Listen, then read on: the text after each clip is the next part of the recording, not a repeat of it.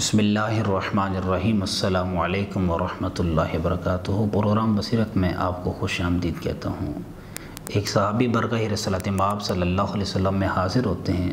عرض کرتے ہیں، یا رسول اللہ صلی اللہ علیہ وسلم، کیا مومن بزدل ہو سکتا ہے؟ آپ علیہ السلام نے فرمایا، ہو سکتا ہے۔ اس نے پھر عرض کی یا رسول اللہ صلی اللہ علیہ وسلم، کیا مومن بخیل بھی ہو سکتا ہے؟ آپ نے فرمایا، ہو سکتا ہے۔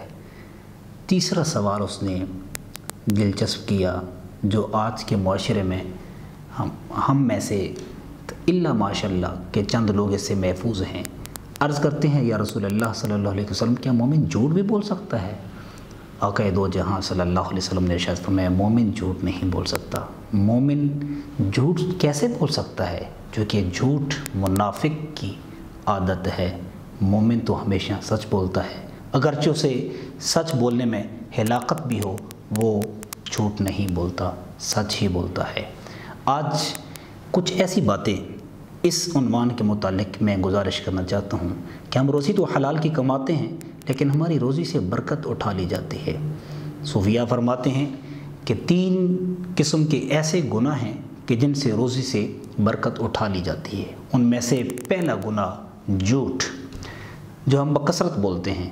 اور اس قدر بولتے ہیں کہ ہماری اولاد پر بھی یہ اثر بڑھتا چلا جا رہا ہے۔ کسی شخص کے دروازے پر دستک دینے والا دستک دیتا ہے اور کہتا ہے کہ پاپا گھر ہیں۔ بچہ کہتا ہے کہ میرے پاپا کہہ رہے ہیں، میں گھر میں نہیں ہوں۔ اس قدر اس برائی کو ہم نے رائج دیا۔ کسی نے فون کیا، کہاں پر ہیں؟ وہ گھر میں ہونے کے باوجود کہیں کسی جگہ کہہ دینا بھی جھوٹ ہے۔ بچے کو بلایا جاتا ہے، بیٹا ادھر آؤ، تمہیں کچھ دوں۔ تو وہ بچے کو جھوٹے انداز میں اپنے قریب کر کے اسے کچھ نہ دینا بھی جھوٹ ہے۔ جس کی وجہ سے ہم رزق حلال تو کماتے ہیں، محنت کرتے ہیں، مشقت کرتے ہیں، لیکن ہمارے رزق میں برکت نہیں ہوتی۔ اس لیے کسی کام کا آغاز کرتے ہوئے آپ جھوٹ سے آغاز نہ کریں۔ کوئی کام کرتے ہوئے بھی جھوٹ کو پیش نظر نہ رکھیں۔ اگرچہ جان چلی جائے، اگرچہ بظاہر ہلاکت کا سبب بھی بن جائے، لیکن سچ کو پیش نظر رکھیں۔ اور دوسرا وہ گناہ ہے کہ جس سے ہماری روزی سے برکت اٹھا لی جاتی ہے، وہ ماں باپ کی نافرمانی ہے۔ جو شخص ماں باپ کی نافرمانی کرتا ہے، اللہ اس کی رزق سے برکت کو اٹھا لیتا ہے۔ اور تیسرے شخص کے بارے میں اہل اللہ فرماتے ہیں کہ جو شخص قطع تعلق خاندان سے، دوستوں سے، تعلق داروں سے رشتہ توڑتا ہے، اللہ اس کے رزق سے بھی برکت کو اٹھا لیتا ہے۔ تو یہ گناہ جو آج کی گفتگو کا ہے، وہ بالخصوص جھوٹ ہے۔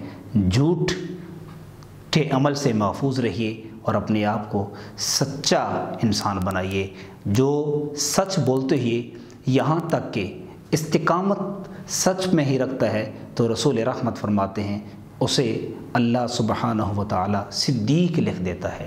اور جو جھوٹ بولتا ہے، یہاں تک کہ جھوٹ میں استقامت رکھتا ہے، اسے قذاب لکھ دیا جاتا ہے کہ یہ بہت بڑا جھوٹا ہے۔ تو ہم بجائے اس فہرست میں اپنا نام لکھوائیں جو قذاب والی ہے، جھوٹوں والی ہے، ہم صدیق والی لسٹ میں اپنا نام لکھوائیں کہ بات کرنی ہے تو سچی کرنی ہے، اگرچہ ہماری جان کو بھی خطرہ ہو۔ دعا گو ہوں، اللہ عز و جل ہمیں کون و معصوادین کی راہ پر چلنے کی توفیق عطا فرمائے۔ والسلام علیکم ورحمۃ اللہ وبرکاتہ۔